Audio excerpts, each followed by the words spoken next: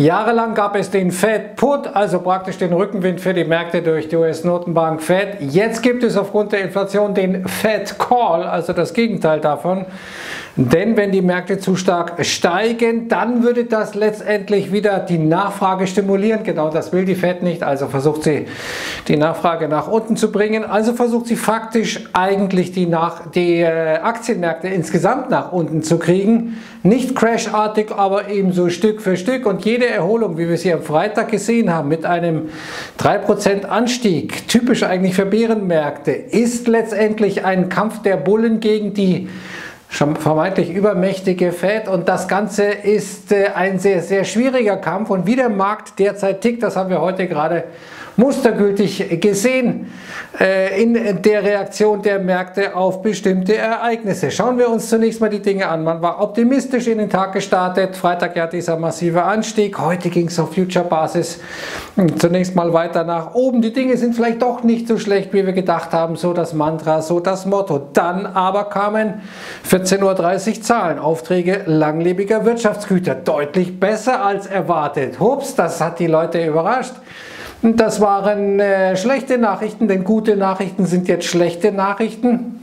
Wenn also die Wirtschaft sich so stark erholt, dann deutet das auf eine anhaltende Inflation. So die Logik, also hat sich die ganze Geschichte verschoben von naja, das Wachstum schwächt sich ab bis hin zu einer Rezession, wieder hin zu, oh Gott, wir kriegen die Inflation niemals runter, wenn das Wirtschaftswachstum sich nicht abschwächt. Aber die Märkte reagierten zunächst mal ein bisschen pikiert, die Futures wieder runtergegangen, aber dann hat man sich gesagt, guckst du, die Daten sind doch aus dem Mai. Und wir wissen, dass äh, die Wirtschaft in den USA, aus den Einkaufsmanager-Indizes wissen wir, dass, dass die Wirtschaft in den USA sich vor allem im Juni deutlich abgeschwächt hat. Und siehe da, dann kam wenig später die Zahlen zum Dallas Fed Manufacturing Index mit minus 17,7, wirklich grottig, tief, tief in der Kontraktion. Wir sehen, äh, dass wir zuletzt ein eigentlich so einen schwachen Wert jenseits des Corona-Crashes hatten, Anfang 2016 auf der einen Seite und im äh, Chart unten sehen wir, die Komponente Expectations, also Hoffnung könnte man sagen, ist äh, fast auf dem Tief der Finanzkrise, fast auf dem Tief des Corona-Crash. Also im Juni scheint da wirklich was passiert zu sein in der US-Wirtschaft und das hat den Aktienmärkten gereicht, um zu sagen, naja, siehst du doch, äh, da ist äh, vielleicht doch eher diese Wirtschaftsabkühlung am Start, weswegen die Fed vielleicht doch die Zinsen nicht so stark anheben kann. Und so schaukelt sich das Ganze ein bisschen auf. Hier mal ein paar Aussagen der Dallas Fed, wo man sagt, ja, wir sind schon ein Stück weit in einer Rezession oder die Wahrscheinlichkeit ist sehr, sehr groß. Wir sind schon in einer Stagflation, weil die Nachfrage nach unseren Produkten da ist. Aber die Finanzierung ist äh, viel schwieriger geworden, sodass viele sich das nicht mehr leisten können oder die Rezession, die sich schon abzeichnet, ähm, wir haben jetzt praktisch durch die Inflation gestiegene Löhne als Unternehmen und früher oder später müssen wir dann Leute entlassen, weil wir uns diese Löhne nicht mehr leisten können oder es ist schwierig, Angestellte zu finden und wenn wir sie finden, fordern die aber so hohe Löhne, dass wir uns das kaum leisten können. Also das sind so die Probleme, die die Märkte derzeit haben und das ist vielleicht der wichtigste Chart der derzeit zu beachten ist. Äh, Im November 2008 begann Quantitative Easing, also die Fed hat äh, massiv Liquidität ins System gepumpt durch den Kauf von Anleihen. Seit einiger Zeit ist klar, das Gegenteil wird passieren. Wir haben also jetzt keinen Fed Put mehr, sondern einen Fed Call. Die Fed wird weiter die Zinsen anheben und die Bilanzsumme reduzieren. Und das Problem ist ein Zeitproblem für die Märkte, denn die Inflation dürfte irgendwann runterkommen. Aber wann und wie oft wird die Fed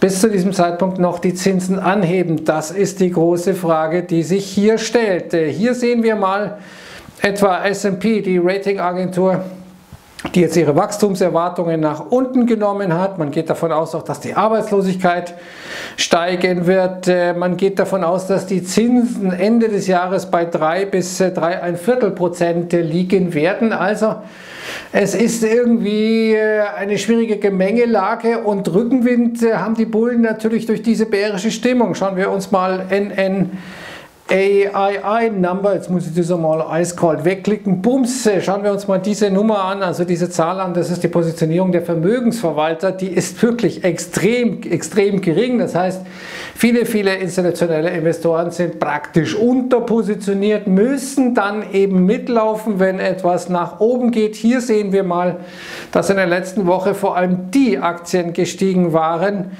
die am stärksten geschortet waren. Hier die äh, Aktien aus dem Russell 3000, da sind eben die meistgeschortetsten Aktien, sind fast 12% gestiegen die am wenigsten geschorteten Aktien nicht mal 4%. Also wir haben schon einen wirklichen Short Squeeze erlebt. Wir haben auf der anderen Seite eine Unterpositionierung. Wir haben auf der anderen Seite dann wiederum eine bärische Stimmung der Investoren. Also so kommt alles äh, zusammen und jetzt ist man wieder ein bisschen optimistischer. Das sieht man, dass die Fettputz, äh, nicht die Fettputz, die äh, Putz abgebaut wurden.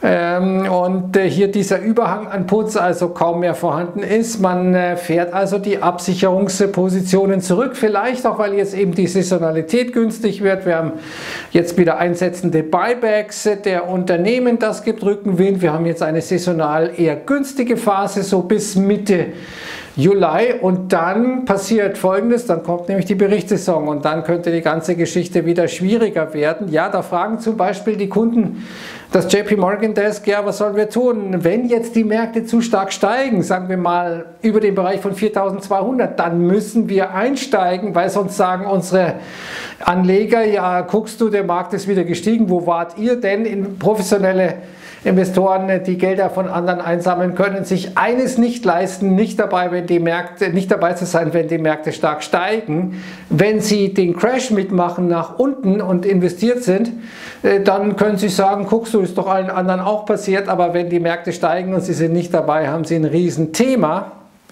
Aber das Thema der Märkte ist und bleibt der Fed Call, wie ich das jetzt bezeichnen möchte mit äh, Standard Chart.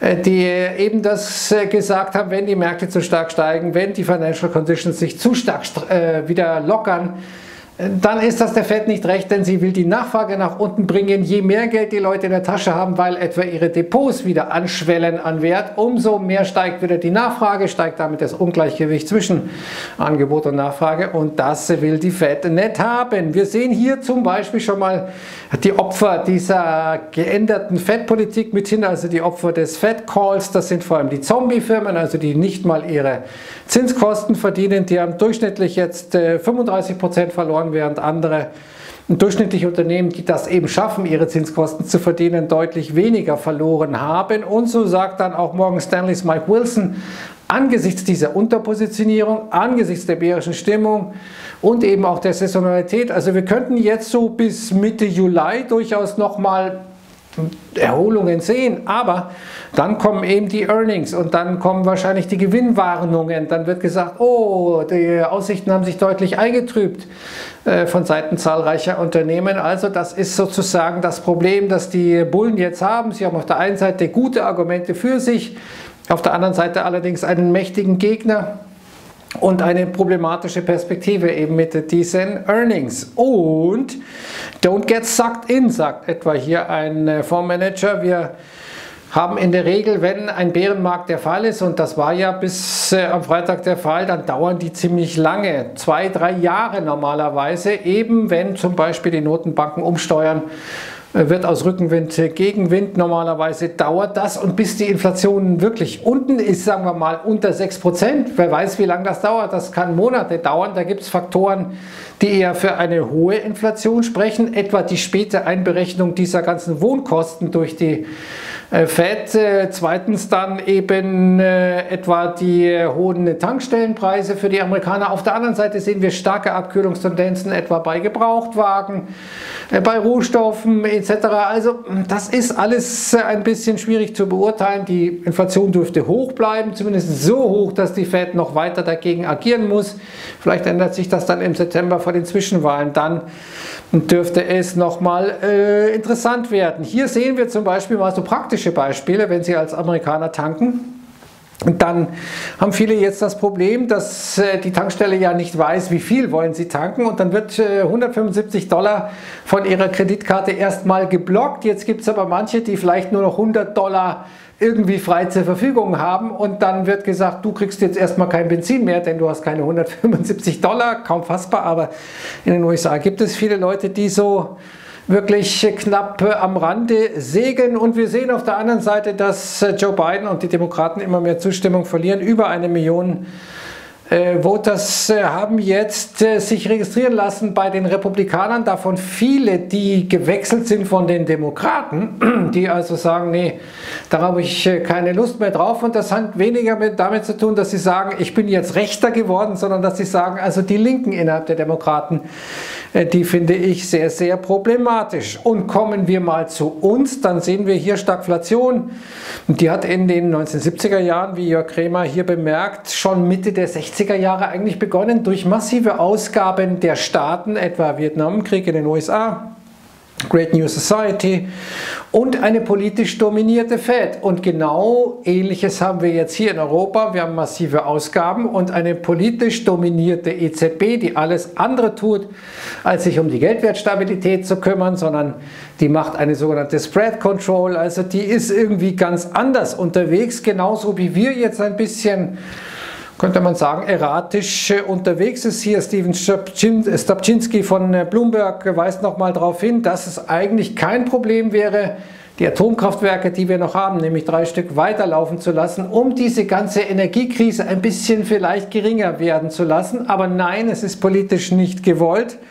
Und wir erinnern uns nochmal an den äh, Satz von Merkel 2006. Ich äh, finde es immer absurd, eine sichere Technologie ähm, abzustellen, wenn sie CO2-frei ist oder wenig CO2 emittiert.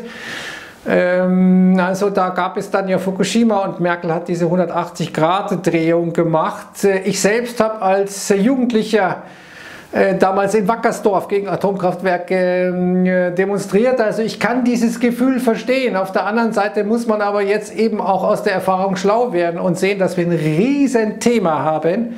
Und so beschließen etwa die Holländer jetzt am Wochenende zwei neue Atomkraftwerke zu bauen, während wir sozusagen aus allem rausgehen, ohne wirklich Alternativen dazu zu haben. Und jetzt sagen manche, wie ich weiß auf YouTube, du seid auch altertümlich. Naja, ich halte es für altertümlicher, äh, wenn der Hintern kalt ist und das kann uns in diesem Winter passieren. Und so eben sehen wir dann auch, dass äh, jetzt äh, wir praktisch in einer wirklich prekären Situation sind, dass möglicherweise die Industrie abwandern muss dahin, wo noch Energie ist etwa internationale Konzerne, die dann in den USA produzieren oder vielleicht sogar in China und äh, sicherlich nicht in Russland. Hier gibt es ja viele äh, die sagen, ja, siehst du, die Russen haben die Rohstoffe, aber man muss ja mal fragen, was haben sie daraus gemacht? Wir haben Länder etwa wie Norwegen und Saudi-Arabien, die aus ihren Rohstoffen wirklich Wohlstand geschaffen haben, zumindest für einen äh, großen Teil der Bevölkerung. Und wir haben das Gegenteil, Beispiele Simbabwe und Venezuela. Russland ist eher so ein bisschen Richtung Simbabwe und Venezuela unterwegs, weil man sieht, dass das Land eigentlich auf so vielen Rohstoffen sitzt, ja nicht nur Öl und Gas, sondern Nickel, und was weiß ich. Jedenfalls ist dafür das BIP sehr, sehr klein, der Wohlstand in der Bevölkerung sehr, sehr klein. Also